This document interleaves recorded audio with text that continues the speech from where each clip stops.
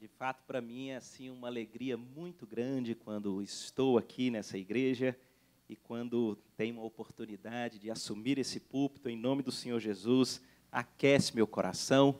De fato, é minha igreja, sou né, fruto aqui da caminhada aqui com os irmãos. Na verdade, os meus coleguinhas aqui da igreja são são todos já bastante maduros, né, com a cabecinha branca. Eu estou vendo um coleguinha mesmo ali atrás, o Vandi, ó, a gente era coleguinha aqui. Mas é um privilégio grande, irmão. Só que hoje eu estou assim com um nervosismo diferente. E eu, o negócio não é muito fácil. A última vez que eu preguei aqui, eu, eu insisti por duas vezes tentando dizer uma palavra e eu não conseguia.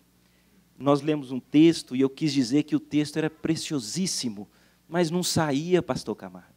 E eu gaguejava, eu falava, mas depois eu falo, e eu não consegui, não consegui, eu tive que parar e dizer que o texto era muito precioso, porque não saía preciosíssimo. E quando a gente terminou ali aquele culto, o pastor Camargo veio aqui à frente, antes de orar, ele falou assim: Olha, eu sei como é isso, eu queria tranquilizar o meu irmão, porque foi uma palavra preciosíssima. E ele disse Pastor Camargo disse a igreja toda riu, então eu estou traumatizado com isso. Tem engraçadinho aqui nessa igreja que foi no site, Pastor Camargo, e editou só a parte que eu fico não consigo falar e mandou espalhando na internet. É, não é fácil não, queridos. Mas Deus é preciosíssimo, essa igreja é preciosíssima nós leremos um texto preciosíssimo, porque eu fui numa fonoaudióloga para conseguir aprender a falar essa palavra. Né? Antes de ler o texto, eu queria fazer uma pergunta para os irmãos. É uma pergunta de uma reflexão pessoal. Imagine comigo que resolveram fazer um filme da sua vida, um filme completo da sua biografia.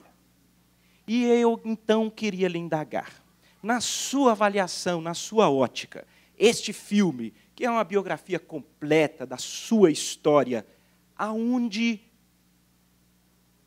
teria o clímax da história? Qual seria o ponto alto da sua narrativa? O filme é o seu. É a sua história. Lá nesse filme, possivelmente serão contados os dilemas mais perseverantes, as ansiedades mais resistentes, serão contadas as vitórias, serão contadas todas as situações de ápice ou de inflexão da sua história. E a minha pergunta então é simples: qual seria o momento em que nós, os espectadores, assistindo o filme da sua história, ficaríamos boquiabertos. Qual seria? É bem provável que talvez você já esteja aí conjecturando sobre o filme da sua história e pensando no pessoal chorando com tanta dificuldade que você já enfrentou. Mas você pode talvez estar pensando naquele, naquele momento de uma grande mudança na história, onde talvez as pessoas ficarão embasbacadas, boquiabertas com a sua história. Que momento vai ser esse? O clímax, aquele ponto alto da sua narrativa. Já conseguiu achar? Nós vamos ler um texto. E, na verdade, a minha intenção é tentar encontrar onde está o clímax do texto. Onde está o ponto alto, para então, nesse momento que nós temos aqui, poder compartilhar um pouquinho sobre ele. Abram lá as Escrituras no segundo livro dos Reis, do capítulo 6. Segundo livro dos Reis, capítulo 6.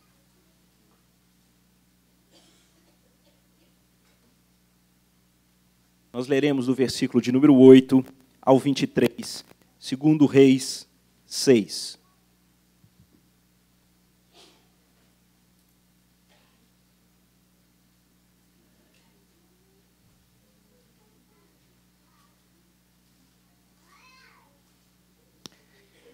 Nós não vamos nos deter em toda a história, naturalmente, mas acho importante nós lermos do 8 ao 23, porque esse momento da leitura das Escrituras, queridos, acho que é o momento que os irmãos mais deveriam reforçar a atenção, porque esse livro que nós lemos é palavra de Deus.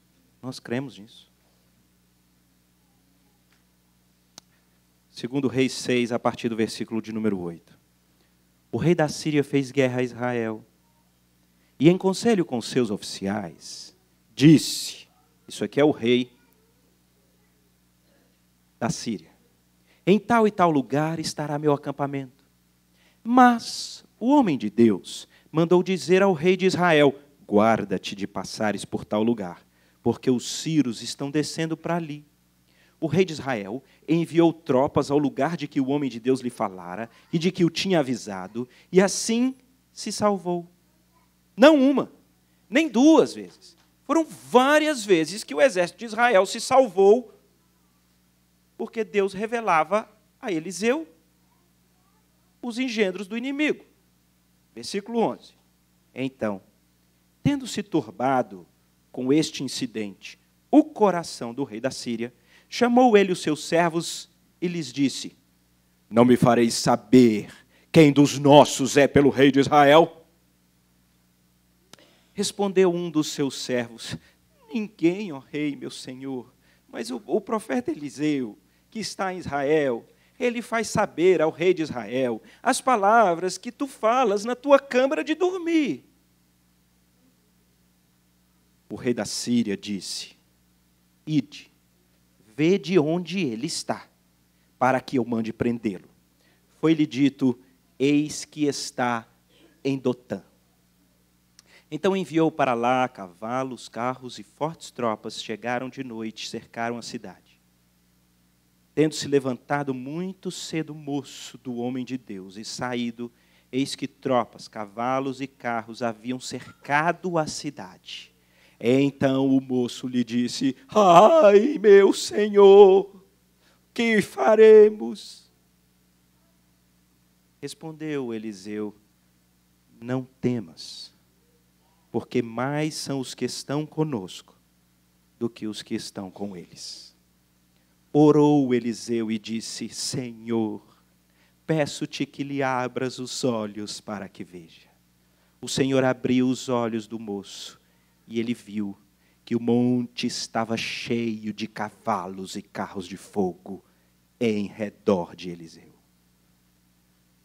E como desceram contra ele, aqui é o exército inimigo, Orou Eliseu ao Senhor e disse: Fere, peço-te esta gente de cegueira. Feriu-a de cegueira, conforme a palavra de Eliseu.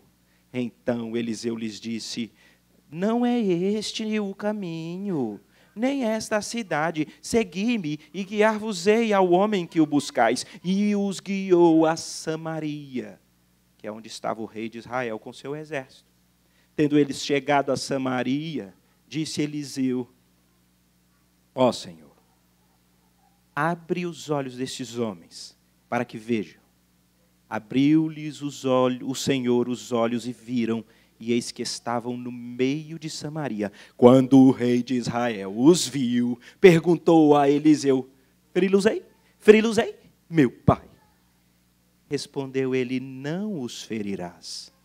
Fere aqueles que fizeres prisioneiros com a tua espada e o teu arco. Porém, a estes manda pôr-lhes diante pão e água, para que comam e bebam e tornem ao seu senhor. Ofereceu-lhes o rei um grande banquete. Comeram, beberam, despediu-os e foram para o seu senhor. E da parte da Síria não houve mais investidas na terra de Israel. Até aqui Louvado seja o Senhor. Há textos, queridos, que a gente devia só ler e dizer Deus abençoe. Texto preciosíssimo ou não?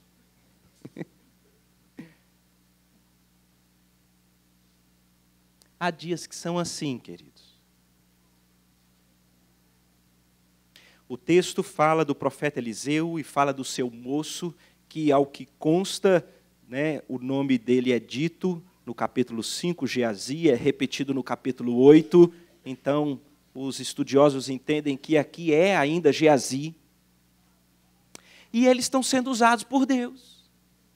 O rei da Síria, ele quer uma guerra contra Israel e quer destruir Israel. Só que Deus tem um profeta que fala da parte de Deus. O nome dele é Eliseu. E Eliseu consegue, no discernimento do que Deus lhe comunica, dizer ao rei de Israel: Olha, as tropas da Síria vêm e eles vão então tentar pôr emboscadas ali, naquele vale, naqueles montes. E então o Israel faz o contrário, prepara antes. Quando o povo chega para se preparar, Israel já ganha a batalha. Um negócio especial. Aqui eles estão vivendo aquele momento intenso, maravilhoso da, da manifestação da bondade, da bondade de Deus, do livramento e, de, e, e das vitórias nas batalhas. Até um dia de manhã. Nesse momento da história, Eliseu é aclamado. Eu fico imaginando Geazi ali junto com ele. Só para vocês terem uma ideia, nesse ponto aqui, Eliseu já tinha visto, ou Geazi, que era o servo de Eliseu, já tinha visto Deus, com seu poder, usando Eliseu para tornar as águas de Jericó saudáveis, já tinha visto é, é, Eliseu é, predizendo a vitória sobre Moabe, já tinha visto Eliseu aumentando o azeite da viúva, lembra da viúva pobrinha e o azeite da botija não acabava, ele já tinha visto Eliseu intercedendo por uma mulher estéril e ela tendo um filho, ele já tinha visto o menino morrendo. E Eliseu chegando no quarto do menino, rogando a Deus, deitando o seu corpo sobre o menino e o menino voltando à vida. Geazi já tinha visto Eliseu restaurando a comida daquela história da morte na panela. Ele já tinha visto 20 pães satisfazendo 100 homens completamente famintos. Geazi já tinha visto o leproso Naamã, comandante do exército do rei da Síria, sendo curado da sua lepra. Já tinha visto um machado que caiu no rio flutuando. Geazi está ali na história da sua vida, vendo grandes vitórias, manifestações transcendentais do poder de Deus pela vida do profeta, até um dia de manhã. Às vezes, conosco não é diferente. As coisas parece que estão até caminhando até um determinado dia de manhã. E o que, que aconteceu? Nós vemos nesse texto, no versículo 15, tendo se levantado muito cedo o moço do homem de Deus e saído, eis que tropas, cavalos e carros haviam cercado a cidade então ele clama: Ai, meu Senhor, que faremos? Mais ou menos assim. Ele acorda cedo, seus afazeres, e com os primeiros raios do sol, ele vê aquela cidade pequena onde eles estão, de Dotã, completamente cercada do exército inimigo. E ele já matou a charada. Ele sabe que muito possivelmente aquele exército descobriu que quem tem sido o grande estrategista de guerra para Israel é Deus, por meio de Eliseu. Então nós estamos diante de Geazi, naquilo que a Bíblia pode chamar de o dia mau. Os puritanos diziam noite escura da alma. Pode ser aquele momento onde nós recebemos aquela má notícia. Talvez seja aquele momento em que você recebe o resultado daquele exame e então você fica sem saber o que fazer. Ou então é quando você chegou no trabalho e é chamado de maneira despretensiosa lá na chefia, então naquele dia você descobre é o seu último dia de trabalho. Ou então é quando você recebe o telefonema de uma pessoa muito querida, talvez um filho, ou quem sabe alguém muito próximo, e a pessoa vai lhe dizer que lá na casa dele estourou uma bomba, a família ruiu, cada um está para um lado. O dia mal, o dia que você recebe uma notícia daquelas terríveis. Parece que o texto revela para nós como é a nossa natureza. A nossa natureza, no dia dessas más notícias, ela nos traz duas coisas. Ela nos traz o desespero e a desesperança. Porque para mim é o que está nessa frase de Geazi. Ele diz: Ai, meu Senhor, ai, meu Senhor, é uma expressão de dor, é uma expressão de desespero. E é possível que, se alguém aqui, em algum momento do curso da sua vida, já passou por um momento como esse, é talvez o dia de manhã, é a tarde, não sei, mas aquela notícia bate na porta da sua casa e você a recebe, talvez lá do fundo do seu coração, ainda que silenciosamente, vem um grito dizendo: ai, ai, ai, ai, ai, ai, ai. Ai do fundo da alma é uma expressão de profundo desespero diante de uma má notícia que aportou lá na sua casa.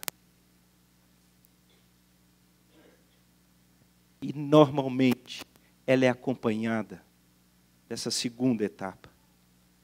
O que faremos? Não há o que se possa fazer. Não há esperança não está nas suas mãos. Você já não tem mais poder para resolver. Você não tem mais nem autoridade nem recursos. Você não tem conhecimento. Você não pode intervir. E muitas das vezes lidar com esses dias maus, aonde a notícia aportou, a tragédia se instalou e você não tem estrutura para resolver, nós temos esse instinto de entrarmos na falência do desespero e da desesperança.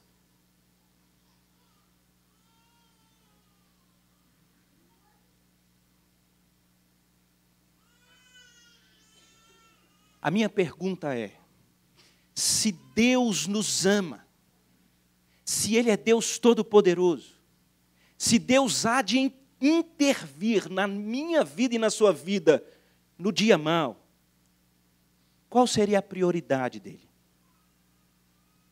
Eu vou perguntar de novo. Se Deus é aquele Criador dos céus, da terra, do mar, de tudo quanto neles há, se nada é impossível ao Senhor, e de repente Ele está vendo que na sua vida, precioso filho amado dele, uma tragédia se instalou, qual você acha que deveria ser a prioridade de Deus nesse momento? Eu vou dizer para os irmãos o que que nós pensamos. Nós pensamos que a prioridade de Deus nesse momento em que a situação é talvez a pior possível, deveria ser Deus devia resolver esse negócio.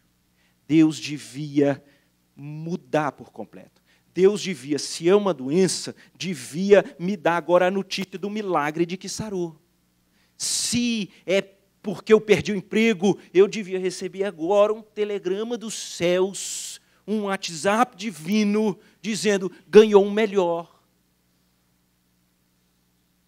Só que quando Deus intervém na nossa história, especialmente no dia mal, o texto parece que mostra para nós que a prioridade do Senhor não é resolver a tragédia, mas é revelar o invisível. Prestem atenção. Geazi está desesperado e, e sem esperança. E então, Eliseu se volta a o seu servo, no meio daquela emboscada, onde aos olhos humanos não há saída, e ele diz: Não temas, rapaz, porque mais são os que estão conosco do que os que estão com eles. Uau! Como assim, Eliseu? Eu não quero isso. Eu quero, eu quero uma oração que fulmina esses caras. Eu quero um relâmpago que queima todo mundo. Eu estou afim. Mas parece que quando Deus trata com a nossa história, a prioridade do Senhor em meio ao caos não é a resolução visível das circunstâncias, mas é a revelação ao nosso coração do invisível. Essa é a prioridade. A prioridade de Deus é revelar para nós que no dia mal, quando a notícia aporta, quando você está sem chão, quando parece que o desespero e a desesperança tomaram conta do seu coração, o que Deus mais requer é resgatar os olhos do seu coração para que você veja o invisível.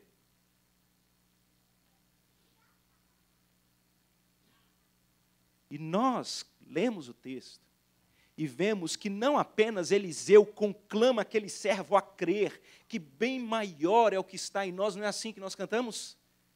Maior é o que está em nós do que o que está no mundo. Bem maior é o que está em nós do que o que está no mundo. Parece que quando Deus intervém, Ele quer revelar para nós que muito maior do que o dia mau em que a tragédia aporta na nossa história é a presença de Deus na vida daqueles que são dele. Eliseu ora e diz: Abre os olhos dele, Senhor. Abre os olhos para que, ele, que ele possa ver. Hã?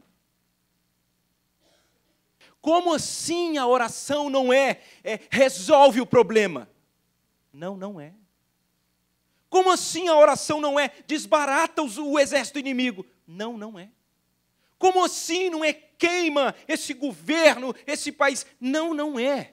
A oração é abra os olhos dessas pessoas que estão tão abraçadas com as circunstâncias visíveis e terrenas que se esquecem de uma realidade invisível e espiritual que nunca perdeu o trono. Abre os olhos desse povo para que eles vejam que é muito maior o que está conosco do que o que está nesse mundo. Essa é a prioridade. E se eu puder responder a pergunta que eu fiz no início, o clímax da história do povo de Deus nunca foi o resultado final dos milagres, mas sempre foi a caminhada pela fé. Esse é o clímax. As pessoas hão de ficar com o queixo caído quando elas virem alguém que está sitiado e cercado pelo inimigo. Não há estrutura humana que possa resolver, não há nada aos olhos humanos que consiga resistir. Mas o invisível de Deus é tão visível que o coração continua confiando no Senhor. Sabe, queridos, parece que essa é a narrativa bíblica.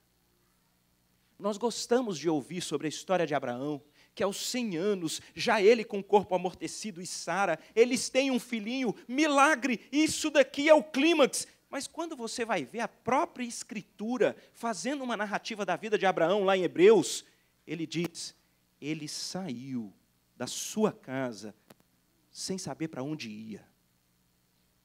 É fé. A Bíblia deixa claro que o que é imputado como justiça de Abraão não são seus feitos e nem os milagres, mas é porque ele creu e isso lhe foi imputado para a justiça. É a vida que enxerga o invisível, que transforma a nossa história em uma história de cair o queixo não são os resultados. A nossa vida precisa ser tal como aqueles jovenzinhos que eles estão de frente do grande rei Nabucodonosor, que fez uma estátua enorme, que mandou que todos se, se curvassem ao som do pífaro. E eles não se curvam. E nós gostamos, nós contamos na escola dominical e tem que contar. Nós contamos dos, deles na fornalha, o quarto homem na fornalha, e eles saem sem ser queimados, e você fala, esse aí é o clímax. Não é esse o clímax. O clímax são três jovens diante da maior autoridade do mundo, dizendo: Nós não nos curvaremos a sua estátua e a nenhum outro Deus. E fica você sabendo, Nabucodonosor, se o Deus a quem servimos quiser nos livrar, ele livra. Se não quiser, nós vamos morrer, mas nós não deixaremos de adorar com exclusividade o nosso Senhor. Esse é o clímax. O clímax nessa história é Daniel, não quando ele é liberto da cova dos leões, porque a gente gosta, né? Ali é o clímax. Vamos ver o que, que vai acontecer. O que, que vai acontecer? O rei chega, Daniel, dá-se o caso de que o rei, de que o Deus a quem tu tanto serves poderia livrar-te. Não é ali o clímax. O clímax é alguém que sai uma lei dizendo que é proibido você orar. E ele diz: Eu vejo o invisível. Eu caminho é pela fé. E a Bíblia diz que ele entra na sua casa e ele então vai orar no seu quartinho. E ele ora. A gente gosta da história de Jó quando chega no final, então ele tem o dobro de tudo. E muita gente fica, quando está passando pelas crises, dizendo: está vendo aqui? É isso aqui que eu preciso, ganhar o dobro de tudo que eu tinha. Sendo que o clímax não é ali. O clímax é quando os olhos de Jó veem o invisível. A majestade de Deus é revelada aos seus olhos. E ele diz: Eu me aborreço e me abomino no pó e nas cinzas, porque antes eu te conhecia de ouvir, mas agora os meus olhos te veem. Quando Jó faz essa oração, quando os seus olhos estão vendo o invisível, ele ainda está completamente putrefado com as suas feridas, ele ainda está sem filhos, ele não tem uma palha, ele não tem nada, mas ele está vendo o invisível espiritual. Se você caminha pelas Escrituras, essa é a história. Vai para o Novo Testamento. Nós adoramos Atos 16, quando tem um terremoto e toda a cadeia sacode e os grilhões soltam e os prisioneiros estão soltos e você fala: é isso aí, isso aí num filme, meu amigo, ninguém segura. Não é esse o clímax. O clímax é você olhar Paulo e Silas, que passaram um dia evangelizando, fazendo aquilo que é da vontade de Deus, e eles injustamente têm as suas roupas rasgadas, eles levam açoites, os vergões estão vivos, eles são levados sem roupa para o cárcere interior, têm os pés presos ao tronco, eles estão com sede, com fome, estão com dores, estão sem roupas, foram injustiçados, e esses homens cantam e oram. Esse é o clímax.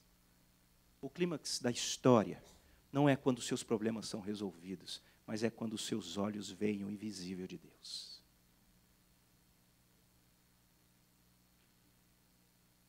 Como é que a gente acessa o invisível? Como é que acessa o invisível? O texto revela algo que é tão simples, queridos. É pela oração. Hã? É pela oração. Como são as suas orações? São como as minhas? Veja, nós somos estimulados nas Escrituras a orarmos uns pelos outros e nós precisamos abrir o nosso coração e a gente tem que fazer isso em nome de Jesus porque é a melhor peneira que tem e a gente ora mesmo. Mas a minha pergunta é: no dia mal, a sua oração é: Senhor, abre os meus olhos para que eu veja o Senhor entronizado. Abra os meus olhos para que, mesmo sem entender as razões do porquê isso acontece comigo e eu vejo não acontece com os outros, revela para mim o invisível do Senhor que continua labutando por aqueles que são teus.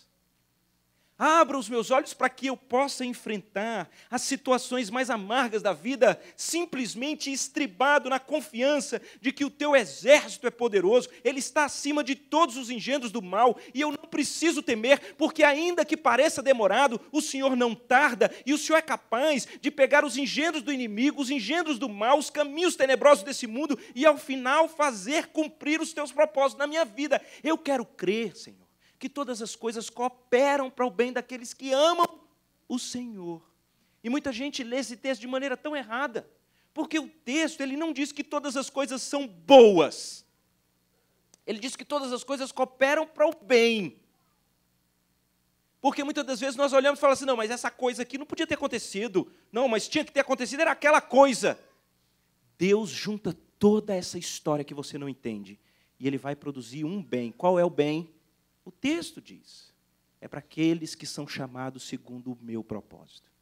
As coisas que ocorrem na nossa vida pode ser um dia de manhã, uma grande tragédia que a porta dentro da sua casa, elas não fugiram do controle do Deus soberano que organiza todas as coisas para ao final trazer glória ao seu nome e bem para nós. Ah, meus irmãos, deixa eu dizer uma coisa curiosa que eu descobri estudando esse texto. Aonde foi que aconteceu essa história? Qual é a cidade? Vocês leram aí? Prestaram atenção? Como é o nome dela? Dotã. Dotã. Dotã. Vocês lembram de Dotã em algum outro lugar na Bíblia? Alguma coisa que aconteceu em Dotã? Não, nem eu. Não lembrava. Mas aí hoje a gente pode pesquisar, né? Tem os softwarezinhos, você fala assim, pesquisa Dotan. Dotan só aparece em um único outro lugar nas Escrituras. Sabe onde é? Vou dizer para vocês. José era menininho. O pai dele fala: vai buscar seus irmãos, vai ver onde eles estão, vai ver como é que estão as coisas. Então ele pega informações de José, e onde é que os irmãos dele estão? Em Dotã. Sabe o que, que acontece em Dotã? Dotã é o lugar onde José chega e os seus irmãos jogam ele num poço. Dotã é o lugar onde eles vendem o irmão como escravo na caravana dos midianitas. Eu não entendi, Roberto, o que você quer dizer.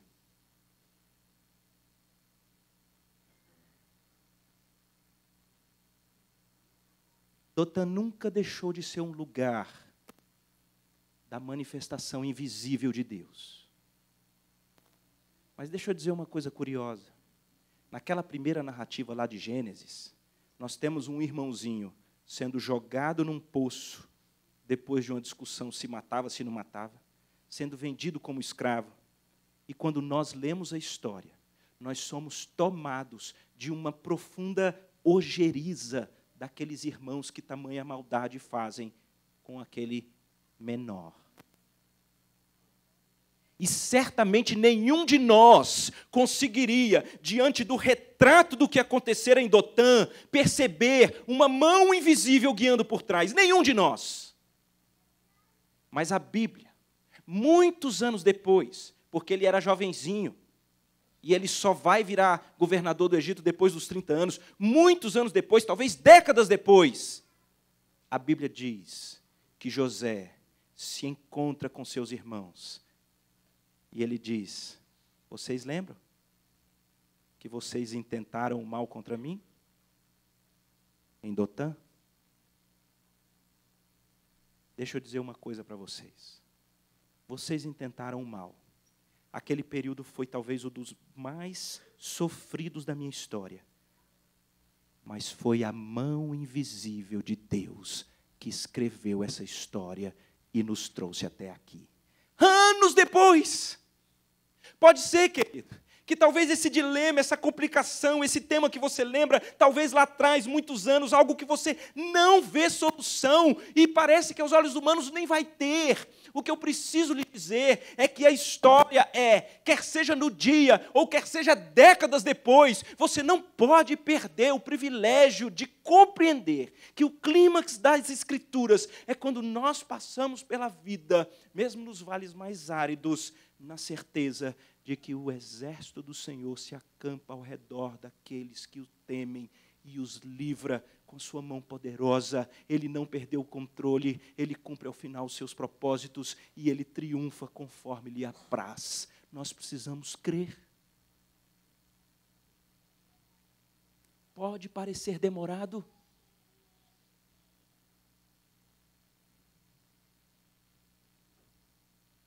Mas diz o salmista que o Senhor não dormita, nem dorme. Eu me lembro, e aqui acho que eu estou estourando o meu tempo, eu me lembro que quando minha esposa foi acometida de um câncer. A situação não estava nada fácil, entramos para a quimioterapia, porque a oncologista tinha dito para mim: olha, de início a gente imaginava que a cirurgia iria extirpar o câncer, mas o exame mostra que ele já tinha, as células já tinham passado, e ela tem duas cadeias é, é, que estão já acometidas pelo câncer. Então, essa quimioterapia, ela precisa ser profilática, profilática ela, tem que, ela tem que matar essas células que a cirurgia já não atinge. E a gente enfrentou aquele momento, talvez da maneira mais difícil lá dentro do coração, e um dia eu recebo uma ligação de uma secretária da igreja. E ela diz: Roberto, a igreja vai fazer um culto que chama Celebração da Graça, e a gente queria saber se você não quer dar um testemunho aí desse momento que vocês estão passando com a Flávia. Eu falei, veja, ela está no meio de uma quimioterapia, ela nem do quarto sai. A gente nem sabe o que, que vai acontecer. Eu não quero, não. E desliguei o telefone, ainda fiquei chateado. Eu falei, é dar testemunho de de fracasso, é de, de tragédia. Eu me lembro que aquele negócio não fugiu da minha mente. O tanto que eu achava ou compreendia que testemunho é de vitória. Ah, tive uma vitória.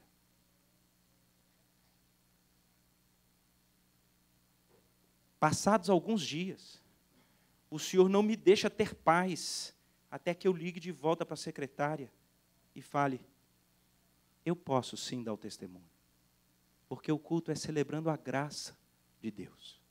E a graça de Deus, por acaso, some quando você está falido? Por acaso ela some quando você não tem poder, estrutura e condições de resolver os problemas?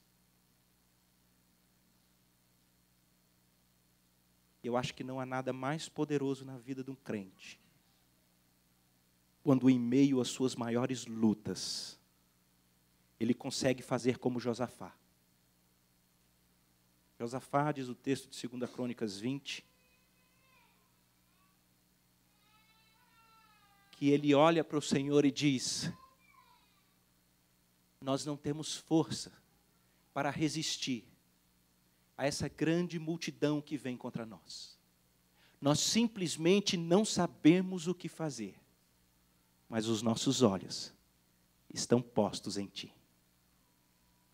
Algo de maravilhoso quando nós enfrentamos o dia mal da nossa existência, vendo o invisível de um Deus que nunca nos abandonou, de um Deus que, mesmo quando a gente não enxerga, Ele continua operando e cooperando todas as coisas para, ao final, cumprirem os seus propósitos, que, está, que traz glória ao seu nome e que moldam o nosso caráter à semelhança de Deus. Tudo bem. Eu sei que você está aí, Roberto, Roberto, Está acabando, Roberto. Fala logo da parte que o exército fica cego e eles vão, e então tem esse milagre. Não vou falar. Não vou. Não vou falar. Porque para mim, queridos, na história da nossa vida, na história das Escrituras, o clímax nunca foi o milagre que Deus pode operar. Para mim, o clímax, que me faz cair o queixo, é você caminhar pela fé. Talvez não seja por outro motivo que a Bíblia diz que sem fé é o quê? É impossível agradar a Deus. É necessário que eu e você creiamos que Deus existe e Ele se torna o galardoador de todos aqueles que o buscam. Uma vida com os olhos da fé. Paulo ora dizendo que ele pede que aqueles crentes com os olhos do coração bem aberto, possam ver a maravilha do nosso Salvador. Sabem por que, que isso é possível, queridos? Sabe por que, que é possível?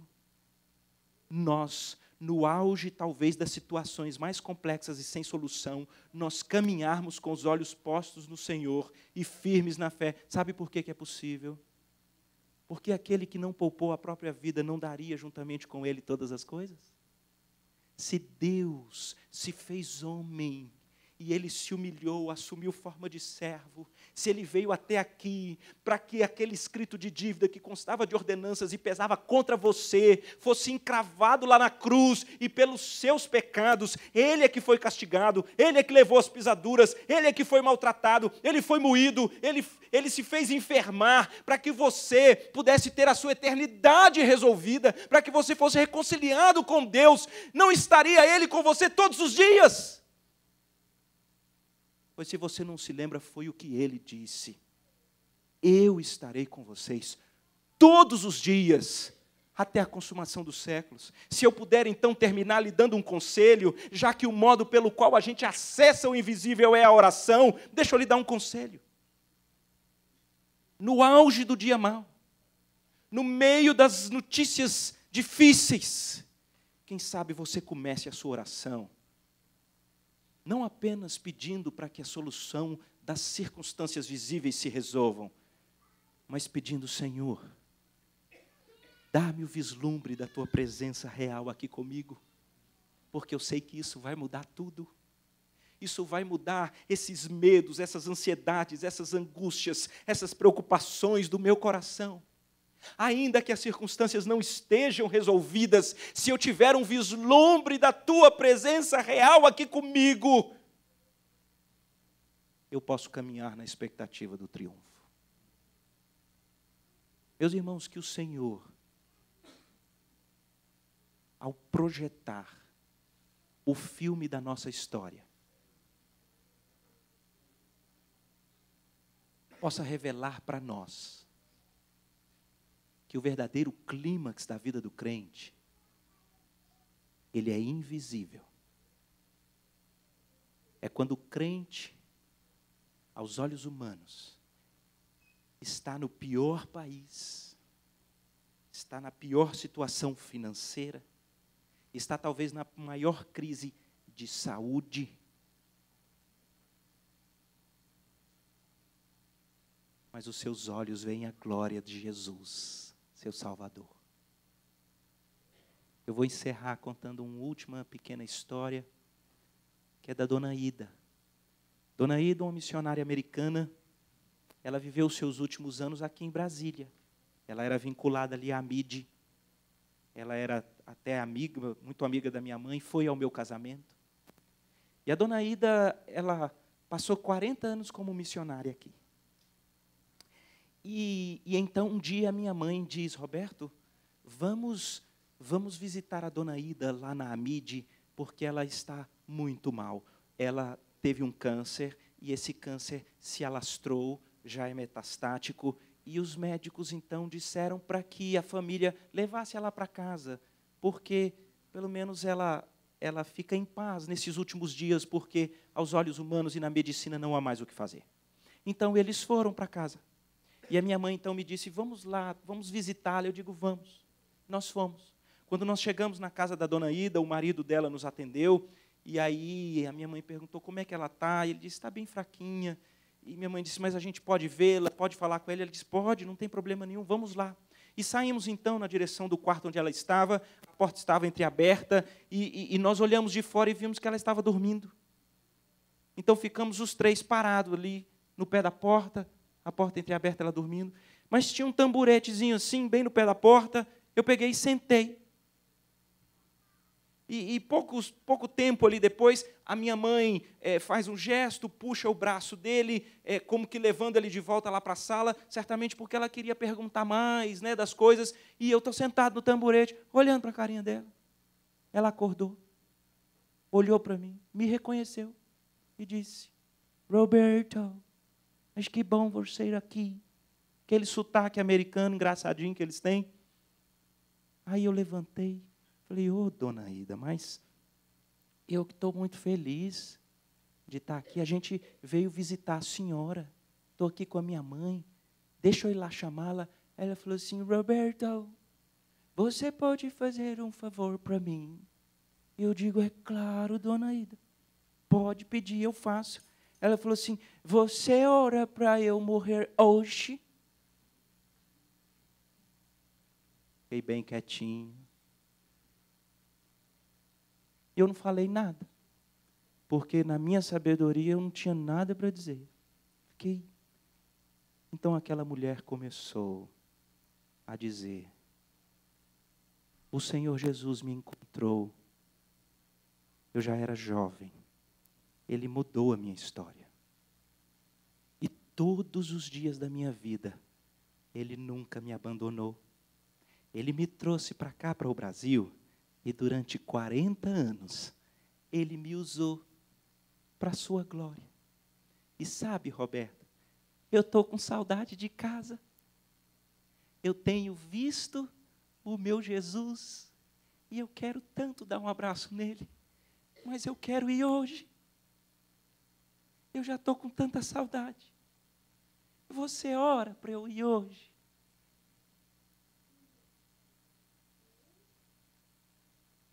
E sabe, queridos, aquela, aquela história me marca, porque eu fiquei pensando: que realidade é essa? Que faz alguém com o corpo tomado de câncer, numa cama, ter sorriso nos lábios, ter brilho nos olhos, para falar que a sua casa não é aqui, mas que a sua casa é lá, e que está com saudade, e que quer ir hoje. O que é isso? Que verdade é essa? Eu vou dizer que verdade que é, queridos. É alguém que teve os olhos abertos para o invisível de Deus, que é muito mais real do que as coisas que nós vemos. Eu sei que eu preciso dizer o que, é que aconteceu, porque senão vai sair, todo mundo vai vir. E o que, que você fez? O que, que aconteceu? Eu sei. É uma questão curiosa. Depois eu vou até perguntar ao pastor Fábio: o que, que faz numa hora dessa? Não, não, não, não. Fiquei bem perdidinho. Mas orei com ela. Não tive coragem de pedir para Deus levar ela naquele dia. Né, eu falei, Senhor, estou aqui impressionado com a tua serva. Te ama de verdade. O Senhor conhece os desejos do coração dela. E nós nos submetemos sempre à tua vontade, que é boa, perfeita e agradável. Então faz a tua vontade, segundo aquilo que é o melhor. E descobri que minha oração não é boa, não. Ela, uma semana depois, ela morreu. E eu lembrei desse caso, queridos, porque o último final de semana eu recebi na minha casa Ana Maria, da Amide. E ela, de repente, quis me contar como foi que a dona Ida faleceu. Que é algo que impressiona e encoraja os missionários até hoje. Era um dia de manhã, eles faziam ali o rodízio e ela não estava bem. E ela virou para uma que estava com ela e disse: Eu estou sentindo o meu Jesus. Vou me encontrar com ele hoje. Então elas saem correndo, chamam as as outras, e a dona Ida, com câncer metastático, com dores que a morfina já não tirava, ela entrega o seu espírito com um sorriso no, no rosto. Queridos, que a verdade do Evangelho, desse mundo espiritual real, possa encorajar e ser real na vida de cada um de nós. Vamos orar. Deus querido.